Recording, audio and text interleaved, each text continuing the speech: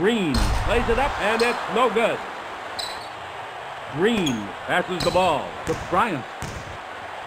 Green puts up the shot. Baker sends it back airmail.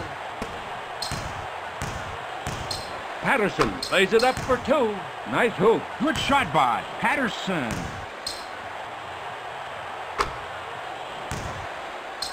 Fisher